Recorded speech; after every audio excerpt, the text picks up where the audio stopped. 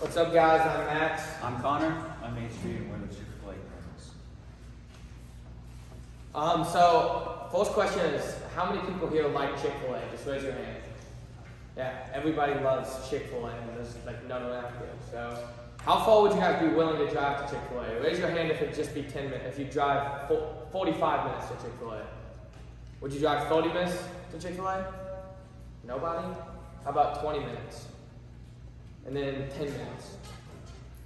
So what if I told you that at every Oldham County Public School uh, sporting event that you could have Chick-fil-A and there would be a new location just in LaGrange for everybody to enjoy? Before we constructed our business plan, we first came together to discuss our strengths so we could work effectively. We established group roles such as team leader, who was Max, uh, task manager, who was Adri, and group editor, who was myself. Furthermore, we established strategies to combat potential workflow problems. So we made this brief diagram to explain to you guys how a profit stream is going to work. So basically, the county is going to subject out a plot of land to an independent food provider, who is then going to get in contact with Chick-fil-A, Chick-fil-A, the franchise, and then out of the profit that the Chick-fil-A makes at this designated location, um, 65% of the revenue is going to go directly back to the Chick-fil-A's franchise, and then 35% is going to go to the independent food provider who got in contact with the Chick-fil-A to put the business there. And then all excess tax revenue is going back to the Chamber of Commerce, aka the county, so it's giving back to the county. And also at every sporting event, there's going to be a discounted Chick-fil-A sandwich to everybody who attends the event. So it's going to bring more people to games, and it's also going to generate revenue for the county and for the Chick-fil-A's franchise. So our work breakdown structure consists of three parts, which were determining the availability, getting a survey, and then the construction. So we determined the availability, we narrowed it down, which we will be seeing in further spots as well. And then we looked at the population density in those areas to see which would get the most reaction from people and then we looked at the competitors, the potential competitors that would be around there. So then we create, then we would create a survey and distribute that and use that as data to show to the county once we get an interest from everybody. And then we looked at the construction cost of it, and then we would do that to get the contract and then make a plan to show it to the county.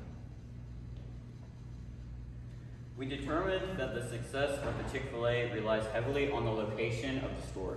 We found three potential locations for our Chick-fil-A. One in Buckner, Buckner near OCHS, one in LaGrange next to Kroger, and one on Commerce Parkway. We compared these locations using multiple, multiple factors in a decision matrix that you can see on the screen here.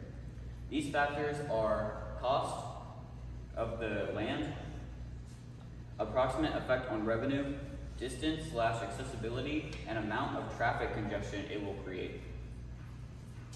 After collecting, compiling, and comparing data, we determined that the LaGrange location is most optimal. Here you can see a screenshot of the listing on the Oldham County Chamber of Commerce's website of the plot of land that we plan to build on with all of the relevant, relevant, relevant information.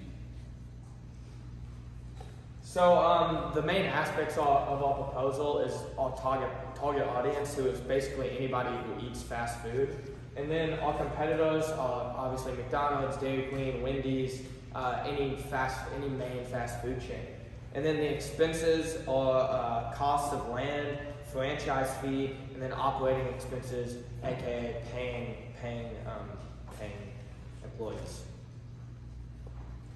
Conclusion, our vacant lot proposal will benefit the community by bringing beloved by bringing a beloved franchise to Oldham County, generating taxes and enriching Oldham County school sports and games through discounts. Any questions? Yes, Mike?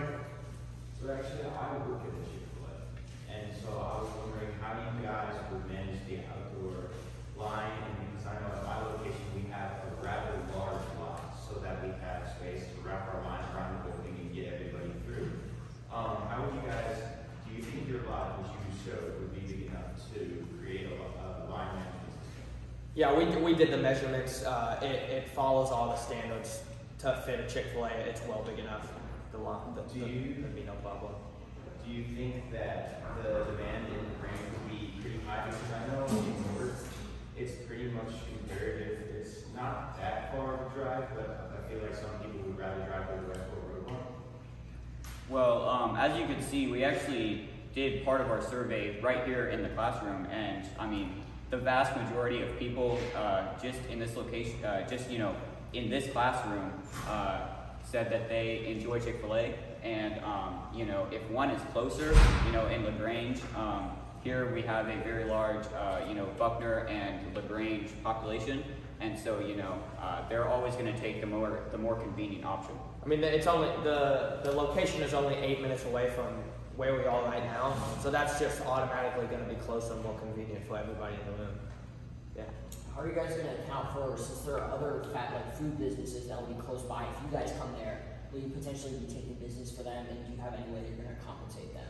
If like some of them might have to close their doors because people are coming to Chick-fil-A and not their restaurant?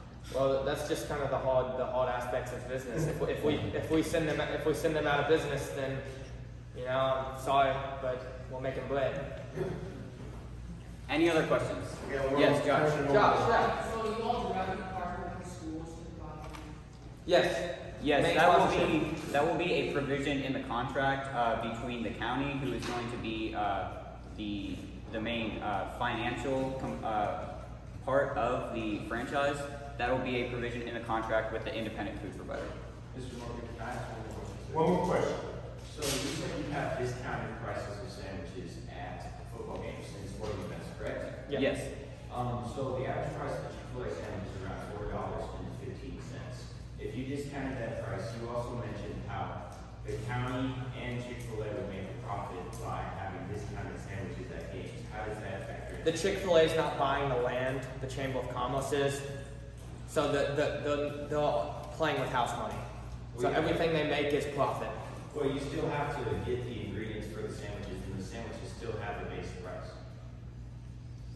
Well, uh, We're gonna, no, we're gonna sign off. Guys, give him a hand.